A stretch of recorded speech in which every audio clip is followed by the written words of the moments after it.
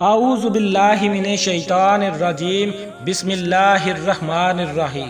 السلام علیکم ورحمۃ اللہ وبرکاتہ۔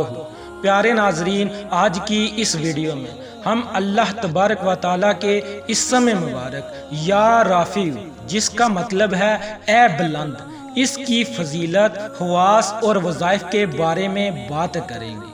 اللہ تبارک و تعالیٰ کے ناموں کے ذکر کی فضیلت بہت زیادہ اللہ تبارک و تعالیٰ قرآن مجید میں ارشاد فرماتے ہیں، ایمان والے تو صرف وہی لوگ ہیں۔ کہ جب ان کے سامنا اللہ کا ذکر کیا جاتا ہے، تو ان کے دل اس کی عظمت و جلال کے تصرف سے لرز جاتے ہیں۔ اور جب ان پر اس کی آیات تلاوت کی جاتی ہیں، تو وہ کلام محبوب کی لذت انگیز اور حلوت آفرین باتیں ان کے ایمان میں زیادتی کر دیتی ہیں۔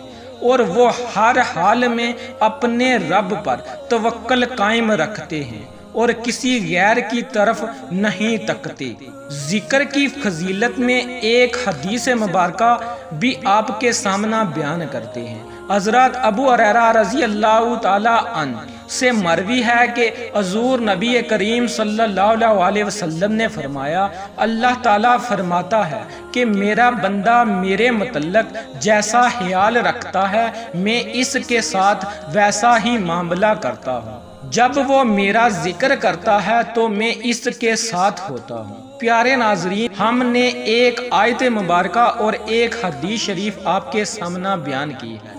اب ہم آپ کو اللہ تبارک و تعالیٰ کے اس اسم مبارک یا رافی جس کا مطلب ہے اے بلند، اس کے خواص اور فضیلت کے بارے میں بتاتے ہیں۔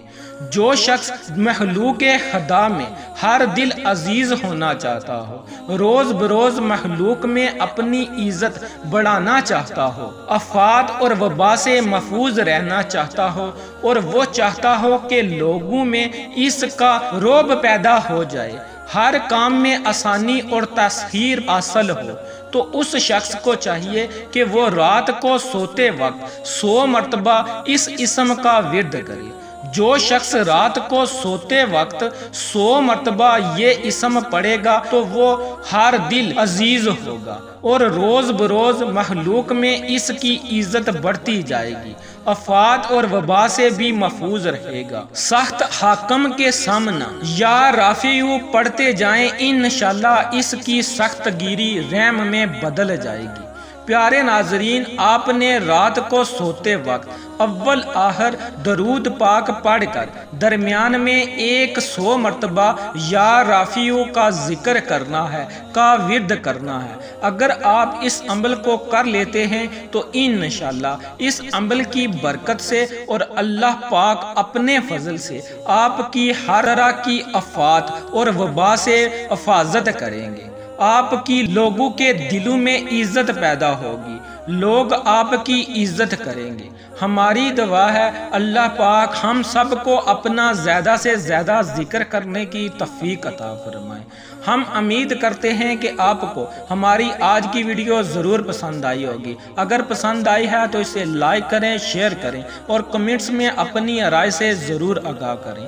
اور جن دوستوں نے ابھی تک ہمارے چینل کو سبسکرائب نہیں کیا، وہ ہمارے چینل کو سبسکرائب کر لیں اور ساتھ ہی لگے بیل کے آئیکن کو بھی پریس کر دیں تاکہ ہماری مزید اپلوڈ ہونے والی ویڈیو کا نوٹفیکیشن آپ کو بر وقت مل سکے۔